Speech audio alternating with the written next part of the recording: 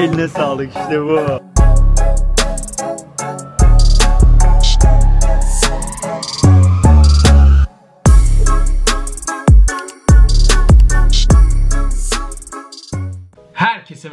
Arkadaşlar. Ayakkabı Dice kanalında yeni bir incelemeye daha hoş geldiniz. Yine bugün güzel bir ayakkabı merceğimiz altında olacak. Uzun süredir bu basketbol ayakkabısını giyiyorum. Nedir ne değildir fikirlerim olgunlaştı ve şimdi sizlere tecrübelerimi ayakkabının içinde bulunan teknolojilerle birlikte nedir ne değildir, iyi yanları, kötü yanları almalı mısınız, almamalı mısınız hepsini anlatacağım. Eğer ki bu ayakkabıya 4000 TL harcamayı göze alıyorsanız lütfen bu incelemeyi de sonuna kadar izleyin. Ayrıca YouTube Shorts videolarıma da bakmanızı tavsiye ederim. Bu ayakkabıların bir de böyle kısa versiyonlarını yayınlıyorum. Bunlar hakkında güzel güzel içerikler üretiyorum. Oraya da bakmanızı tavsiye ederim. Teşekkür ediyorum şimdiden destekleriniz için. Ayakkabının kutusunu alarak başlayalım incelememize. Kutusu gayet normal, gayet basit ve daha önceki Harden'lardan görmüş olduğumuz bir kutu arkadaşlar. Bu tasarımları hiç beğenmiyorum. Keşke yeni tasarımlarla karşımıza çıksalar diyorum. Böylelikle biz de biraz daha heyecanlı olabiliriz. Gerçek ayakkabı severler kutuya da dikkat ediyor çünkü. Her zaman olduğu gibi arkadaşlar yine şurada etiketini göstereyim. 44 2 bölü 3. Benim Adidas numaram zaten. Yani boostlarda da bunu giyiyorum. Basketbol ayakkabılarında da bunu giyiyorum. Nike'larda ise koşu yürüyüş ayakkabılarında 44,5 ama basketbol ayakkabılarında en az 45 giyiyorum. Siz de bana kıyasla kendi numaralarınızı bu şekilde tercih edebilirsiniz. Yani örnek veriyorum siz 43 giyiyorsunuzdur. Adidas'ta hani Nike'da yarım numara üste çıkmalısınız gibi bu şekilde düşünebilirsiniz yani. Şimdi kutudan hemen bir tane ayakkabıyı çıkartalım. Performans detaylarına geçelim. Evet arkadaşlar Adidas'ın Harden'ın son bombası elimizde. Ne diyorsunuz bu ayakkabıyı beğeniyor musunuz?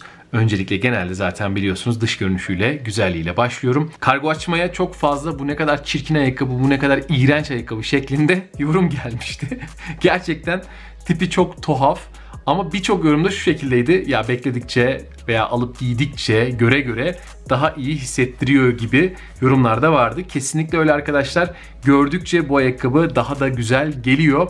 Bende de aynı şey oldu. Gitgide beğenmeye başladım. Özellikle ayağımdaki hisle veya ayağımdaki görüntüsüyle daha daha beğenir hale geldim. Çok sade, çok stabil bir tasarım. Üst tarafta normalde kapalıymış da sonradan kesilmiş gibi duran şişme montlara benzeyen bir kısım. Ön tarafta tek bir kaliteli parmak tutucu. Arkada iç içe 2-3 tane çorap veya parça görünümü verilmiş olan bir dizayn ve arkada ise 3 çizgiyi görebildiğiniz bir tasarım. Yani çok sade, çok basit. Bunun sarı rengini aldım biraz daha sahada görünür, kendini belli eder umuduyla. İyi ki de bunu almışım diyorum. Gayet de güzel bir renk, gayet de güzel bir tasarım. Arkadaşlar gerçekten James Harden 7, Volume 7 oldukça güzel bir basketbol ayakkabısı. Neredeyse eksikliği yok. Bunu baştan peşin peşin söyleyeyim. Bu ayakkabıyı aldığınızda asla pişman olmazsınız. He, tabii ki 4000 TL'dir, fazladır. Ama indirimden falan buluyorsanız bence kaçırmayın. Harden çok güzel bir seri. Ara ara bazı beğenmediğim ayakkabıları olsa da birdenbire bence çok güzel işler yapıyor ve burada da farklı değil gayet keyifli ve gayet güzel bir ayakkabı olmuş. Bir tek ağırlığı noktasında emin değilim. Onu da hemen test etmek istiyorum. Çünkü yeni tartı aldım arkadaşlar. Hatta böyle şey tartı aldım. Hani ayakkabı yukarıda dursun da ağırlığını tam olarak ölçebileyim diye. Şöyle on off yapıyorum. Çok merak ediyorum ağırlığı nedir? Ve 494 gram. Gerçekten ağırmış. Hemen volüm 6'yı getiriyorum. Acaba hangisi daha ağır ona bakmış oluruz. Ve 504, 506 gram hatta.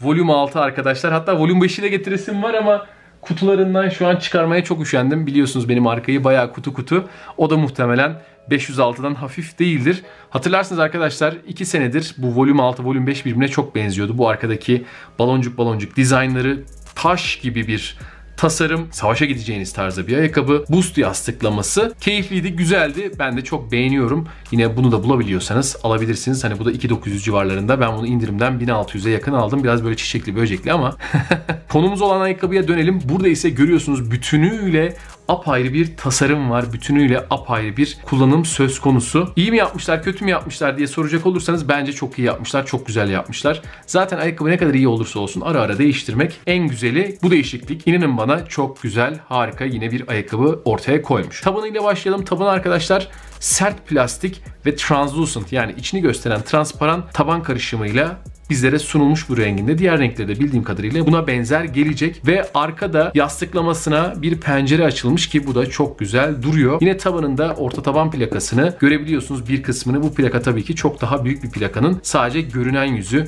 şu iç tarafta görmüş olduğunuz nalvari tüm tabana yayılan bir pençevari plaka bu ayakkabıya form ve sertlik veriyor. Taban tutuşu olarak nasıl yaptı diye sorarsanız genelde ben ayakkabıları birlikte test etmeyi seviyorum. Yani 2 ayakkabı, 3 ayakkabı, kimi zaman taşıyabiliyorsam 4 ayakkabıya kadar aynı sahada test ediyorum. Ki bazılarınız diyor abi oynadığın saha çok kötü o yüzden taban tutuşun kötü oldu. Hayır arkadaşlar.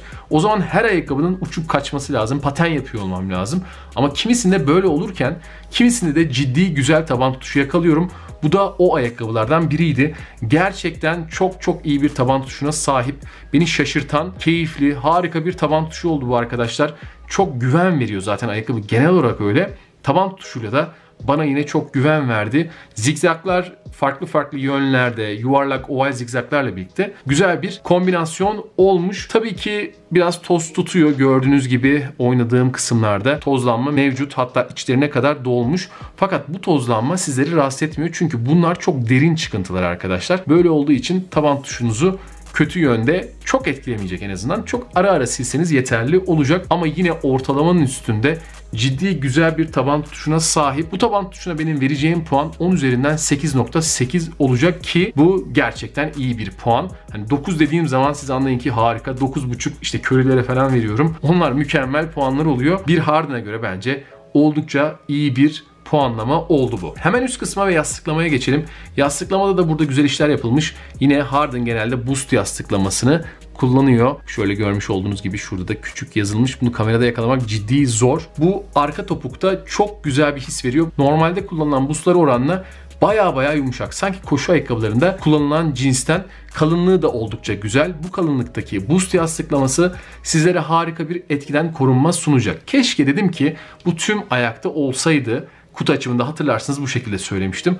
Ama burada kullanılan Light Strike köpüğü de arkadaşlar inanın bana boost'u pek aratmadı ve ciddi keyifle basketbolumu oynamama, etkilerden korunmama, yardımcı oldu. Zıp zıp hissi çok güzel. Gerçekten keyifle bu yastıklamadan verim alacaksınız. Basketbolunuzu güzel oynayacaksınız. Ciddi güzel bir kombinasyon olmuş. Bu kombinasyonu ilerleyen Adidas ayakkabılarında da ben bekliyorum. Light Strike yastıklaması da baya baya yumuşak. Bu yastıklama her ayakkabı tipinde değişebiliyor ama Harden Volume 7'de gerçekten işi hakkıyla yapmışlar. Bu yastıklamaya vereceğim puan benim 10 üzerinden 8.9 olacak ki yine oldukça güzel bir puan. Üst kısma geçiyorum arkadaşlar. Üst kısımda çok fazla materyal yok. Tabanda kullanılan plastikler kimi noktalarda gördüğünüz gibi üst kısma çıkmış. Yan çeper korumaları yine arka topuğu koruyan, kaliteli hissettiren plastikler ve üst kısım bu şekilde bizlere sunulmuş. Burada kabak çiçeği gibi adlandırıyorum ama bu kısım arkadaşlar bağcıklarınızı sıktığınız zaman üstünüze kapanacak kısım. Güçlü süngerlerin kullanıldığı yan kısımlar ayağınızı tutmada çok iyi iş yapıyor. Yana doğru yapacağınız hamlelerde oldukça kaliteli yine hissettiren plastikler ile bezenmiş. Tabandaki plastikler üst tarafa çıkarılarak destek sunulmuş. Topukta ayakkabıdaki en premium hissettiren kısım içini hafif gösteren şöyle dikkat ederseniz hafif görebiliyorsunuz. Pencere açılmış yastıklamaya ve bu da topuğunuzu tutmakta çok iyi işler yapıyor. Görüntü olarak her ne kadar beğenmeseniz de bu bahsettiğim bölümler ayakkabıya form veren, güç veren ve ayağınızı ayakkabının içinde tutan harika kısımlar. Yine nitekim bu ön tarafta görmüş olduğunuz kumaş da aynı şekilde çok üst düzey kaliteli hissettiren bir materyal arkadaşlar. Şurada kalınlığını da görebiliyorsunuz. Çok ince değil. Çok ideal bir kalınlıkta. Tülü nuvukvari bir kumaş ön parmaklarınızı korumada görevlendirilmiş ki burada da çok iyi iş yapıyor. Arka kısmı hemen geçiyorum. Arkadaki tasarım çok çok ilginç. Aslında bu ayakkabının üstündeki, içindeki tasarım çok ilginç. Bir çoraba giriyor arkadaşlar ayağınız. Şurada görmüş olduğunuz çorap. Şöyle elimi kadar elime sokabiliyorum bakın. Evet elim buraya kadar girdi. Arkadaşlar şu ön kısımdan çorap başlıyor. Ta şuralara kadar. Şuralardan şöyle üste kadar çıkıyor. Ve bu şekilde ayakkabıda değişik bir iç çorap tasarımı var. Bu iç çorap tasarımı da Adidas'ın en premium ultra boostlarında kullanılan elastik örgülü tasarıma benziyor ki çok çok güzel. Ben çok beğendim. Gerçekten keyifli, giymesi keyifli, giyip çıkarması çok keyifli. Arkadan tuttuğunuz zaman pull tab'ten çok rahat bir şekilde ayağınıza gir çıkar yapabiliyorsunuz. Arkada da Harden logosu sade ve sadece burada yer alıyor bildiğim kadarıyla başka da bir yerde.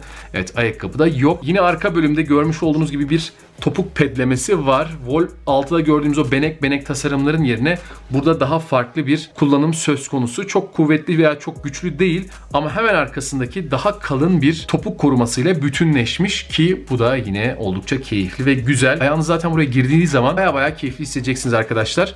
Bu bağcıkların ayağınızı acıtmaması için ise ayağınıza temas edecek yani şu bölmelerin altına bir tık daha kalın farklı materyaller yerleştirilmiş. Böylelikle bu bağcıklar ayağınıza zarar vermeyecektir. Arkadaki bu siyah koruma ile birlikte bütün bir kitlenme, fitlenme sunuyor. Bağcıklarınızı çektiğiniz zaman ise gayet keyifli biçimde ayağınıza kapanıyor. Buradaki bağcık delikleri iç tarafa yapışmış biçimde arkadaşlar. Siz çektikçe bu şekilde üstünüze kapanacak ayakkabı. Ben materyalleri çok beğendim açıkçası. Materyallere vereceğim puan 10 üzerinden 8.9 olacak. Pek karşılaşmadığım, diğer ayakkabılarda çok görmediğim tarzda farklı materyaller kullanılmış. Bu da yine Harden'ın kalitesini gösteren bir ayakkabı olmuş bence. Çünkü Adidas'ın en üst düzey atleti diyebiliriz herhalde. Yanlış olmaz. Derrick Rose Trey Young düşündüğümüz zaman MVP olmuş ve bir dönem gerçekten NBA'yi titretmiş bir oyuncu ki hala güzel işler yapıyor. Destek noktasında yana doğru şu çıkıntı inanılmaz güzel. Yana doğru yapacağınız hamlelerde harika hissettirecek.